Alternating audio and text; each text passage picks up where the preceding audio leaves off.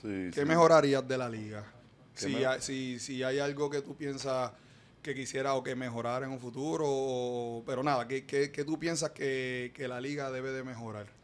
Wow, este, eso me- en, desarrollar el talento, ¿no? De, El nativo. de los nativos, Sí. desarrollar el talento nativo. Hay que buscar la forma. Buscar la forma de De desarrollar esos, esos, esos talentos nativos que hay, ¿entiendes? Sí, lo que pasa hay. es que, pues, que hacer las asignaciones, hay que salir a buscar los tipos, meterse en los, yo, yo no sé, un programa que fue que, que existiera tiene que haber, de barrio, caserío, sí. BCN, qué sé yo, y meterse en los caseríos, y, y si hay uno o dos, tratar de desarrollarlo. La- Claro. Yo sé que vienen muchas cosas por ahí, un par de academias, las de Barea, entiende Ujú. esta hora de Giret Basketball Academy también, y pero aparte de va bien la liga, pues obviamente le, No, la pues, liga está en su pica ahora mismo. los, bueno, obviamente todos los artistas, los Yadiel Molina, eh, ha cogido su, su empuje No, a nivel cogido- mundial. Ha cogido un auge, Ah, un auge increíble y, y se nota son la, la fanaticada, la estética también de la liga, o sea, como están presentando las cosas, pues se adaptaron a lo que, a lo que son las redes sociales, pero eso que dice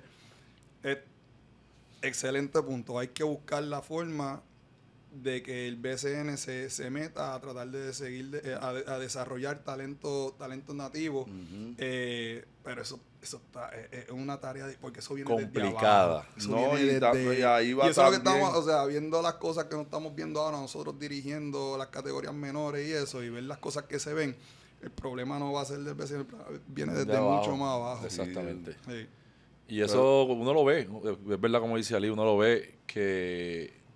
Y uno tiene que entender también que la Liga de Baloncesto Superior Nacional es un negocio, no es una liga de desarrollo. Exacto. Que muchos niños, muchos jóvenes que salen de la ley de la puertorriqueña matan esas ligas Y cuando y llegan a superior se dan con el cantazo, no son bien pocos los que llegan. Y shout out a todos esos chamacos pues que llegan a la liga superior y se han mantenido. Porque pues no, no, no significa que llegues. Y no, y que han llegado a, bu- a pulso de, tú me entiendes. O cojones, a a cojones. Exacto, a Y cojones. se han mantenido ahí 3, 4, 5 Sí. años y después pues le llega el, le llega la cartita que no lo van a, no lo van a, pero firmar, también pero tienen que ponerse para lo de ellos también. Claro, hay que entrenar. Tienen que entrenar, eh, hacer, tú me entiendes, no pueden estar. mucho Puerto Rico, ahora. Puerto Rico es un país de muchas distracciones, ¿entiendes? Por eso es que muchos jugadores se van Sí, para Estados papi. Unidos, Sí.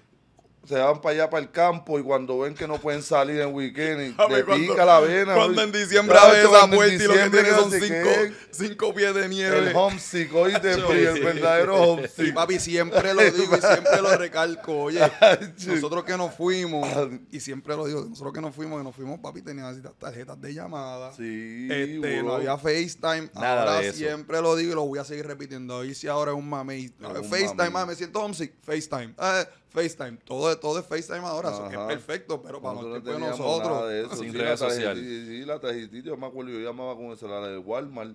quedan Había que dos raspar. minutos. Te quedan dos minutos. No, y chequeate esto, te voy a decir que estaba hablando de eso.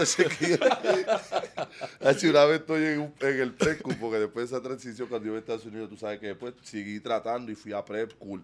Y estoy en Boston. Así yo veo que el, el, el roommate mío tiene una tarjeta de esa. ¡Me odió! Hacho, Bri. Hacho, busqué pa- la lápiz papel. Busqué lápiz papel y apunté los 12 números. El piguito. Hacho, le exploté la tarjeta. Es que, papi, yo eran acu- 20, 30, 40 Papi, yo- pesos. Cuando yo, yo no tenía ni uno, yo no tenía nada. Había que esa tarjeta, papi, y yo lo que necesito son los números y cómo, pa, ya, cómo hay que marcar el uno y marcar el número. Mira, y cuando el Fusa lo llamaba a Papi, los pais, llegó, cuando tarjeta- llegó me dijo, man, I don't know what's wrong with my car. It's like, it says zero balance.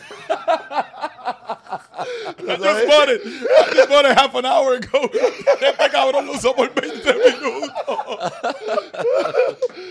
have to call my mom again, man. She gonna be pissed off.